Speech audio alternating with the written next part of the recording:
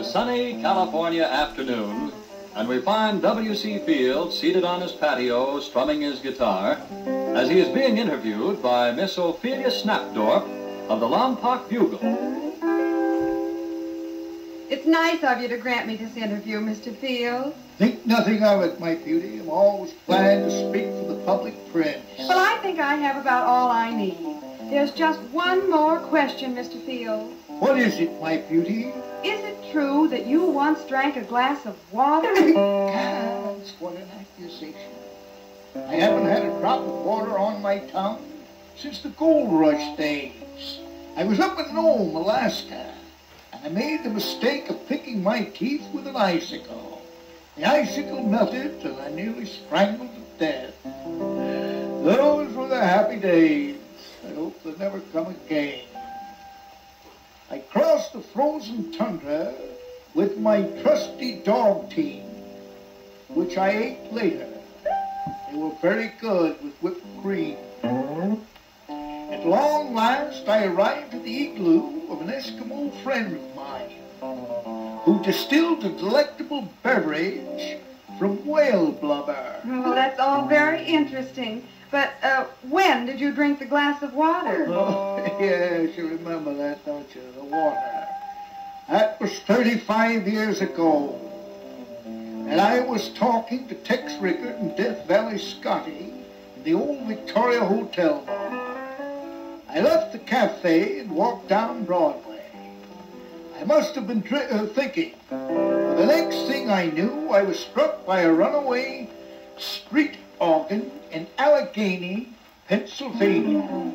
The entrepreneur of this musical cavalcade, an Italian gentleman, was most profuse in his apologies. This poor frightened monkey bit me in the stomach in his excitement. Uh, were you ever bitten in the stomach by a wild monkey? No. Oh. I was rushed to the hospital.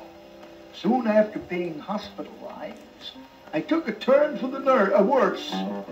My nurse, Miss Dorothea Fizzledocko, was pretty, starched and blonde, with cheeks like peaches and cream, which I had for breakfast every morning. Things went along smoothly until one day when my doctor entered my room to find that I had a half Nelson on Miss Fizzledocko in an effort to wrest a vial of rubbing alcohol from her determined grip.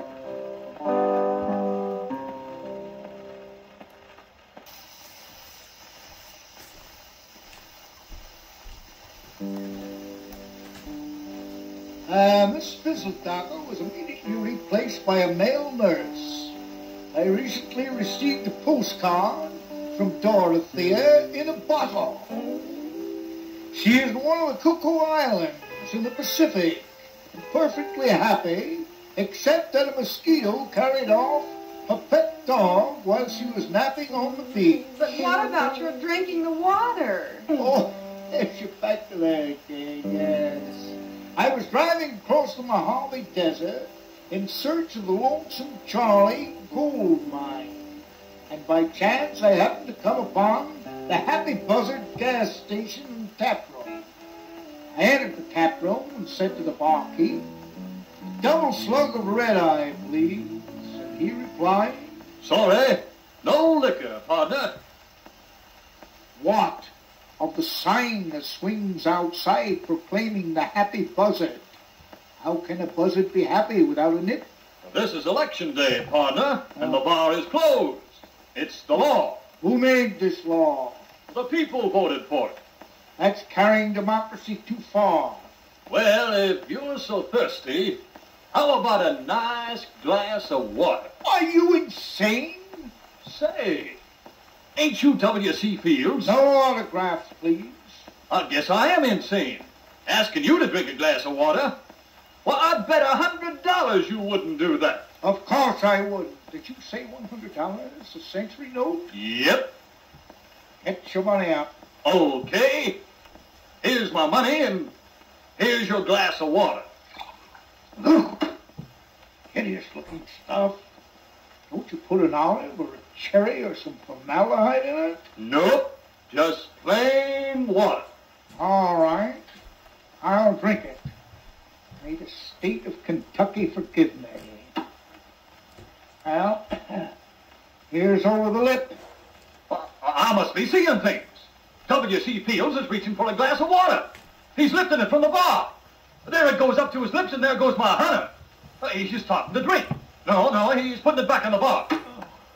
Whoops, he's lifting it to his lips again. He, grits his teeth.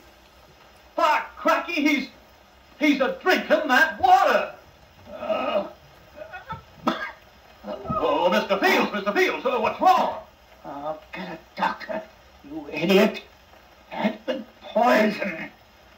Ah!